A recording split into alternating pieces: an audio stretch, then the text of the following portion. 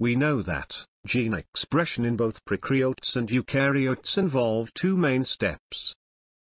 The first step is known as transcription. In this process, the information in a gene or a DNA segment is copied into a complementary RNA sequence. Thus, in simple words, transcription means RNA synthesis. The second step is known as translation. During translation, the RNA sequence is used to create the amino acid sequence of a polypeptide.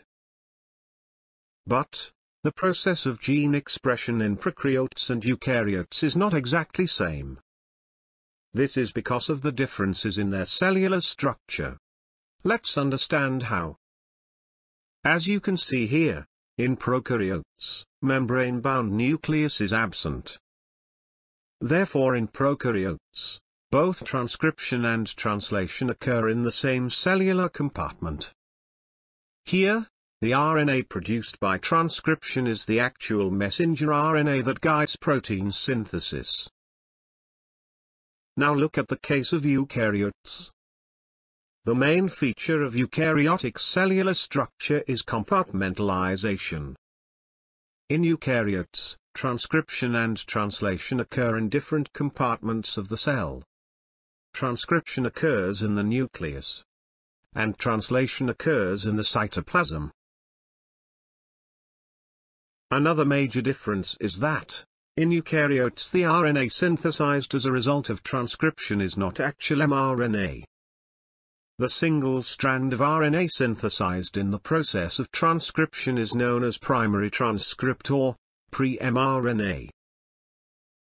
This pre-mRNA undergo processing before translation to form mature mRNA.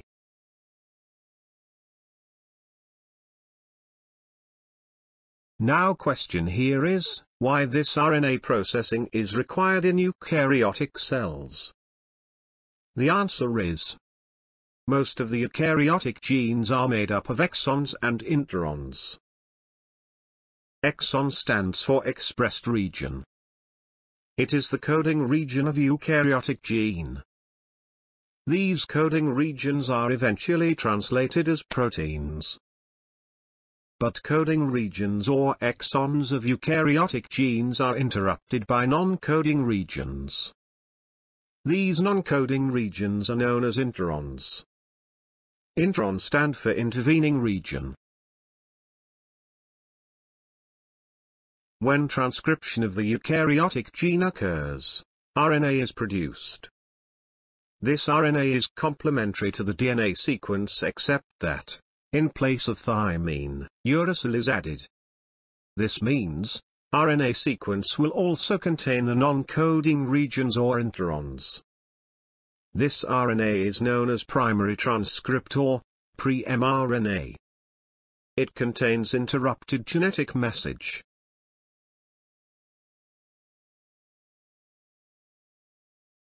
Mature, mRNA is formed by removal of introns and joining of exons in the correct order.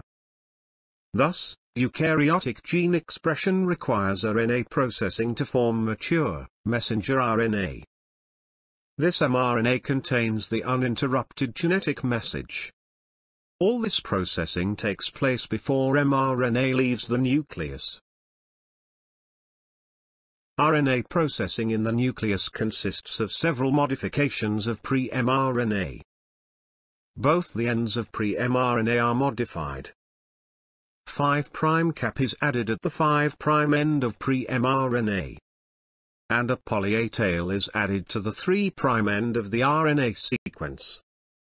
Introns are removed, and exons are joined together. This process is known as RNA splicing.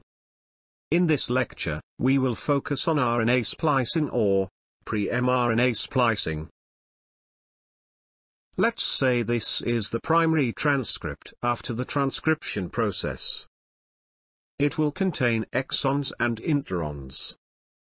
The main role in RNA splicing is played by exon-intron junctions of pre-mRNA. Now, what is so special about these exon-intron junctions? These junctions have highly conserved nucleotides. In case of mammals, the 5' end of each intron almost always has GU nucleotides. And the 3' end of each intron has AG nucleotides. These sites on each intron are known as 5' splice site and 3' splice site.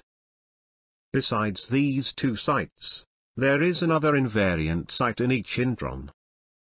This site is 15 to 45 nucleotide upstream of 3' splice site. It contains adenine. This site in intron is known as branch point or branch site. Now let's talk about the cellular machinery that carries out the process of RNA splicing. Pre-mRNA splicing is carried out by a cellular machinery known as spliceosome.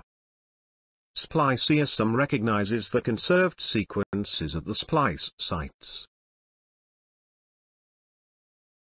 Spliceosome is a complicated intracellular machine.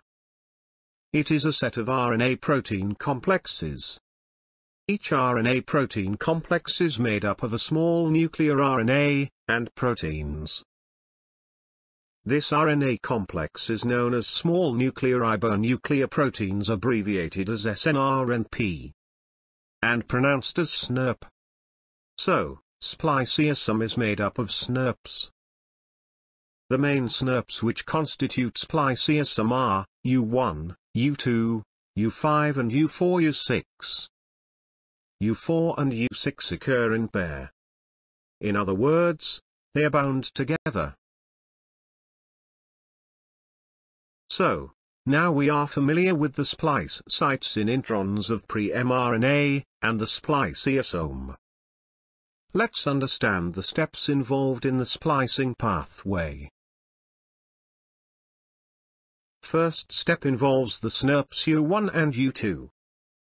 U1 binds to the 5' splice site of the intron. This binding is due to base pairing between the U1 RNA and the 5' end of intron.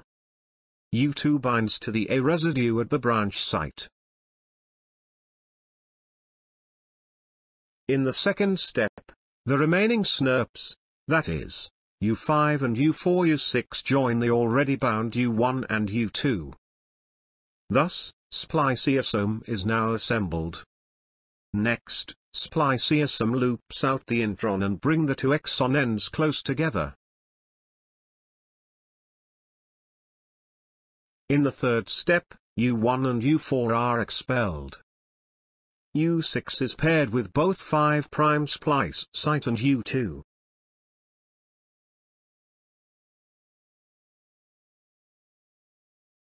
In the fourth step, the 5' end of intron is cleaved and it attaches to the branch point that is, to the adenine of the intron.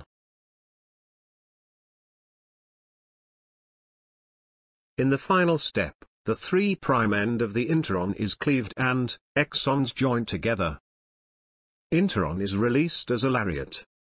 The intron is called a lariat structure as it has a stem and a loop. It resembles the shape of cowboy's lariat. Intron is degraded by enzymes. And SNRPs are used in other splicing reactions. This whole process of pre-mRNA splicing is repeated for other exons and introns within the primary transcript. So, that's all in today's lecture. Please don't forget to subscribe this channel. If these videos are helpful to you, like them and share them. Also, let me know your feedback about these videos through your comments below. Thank you for watching.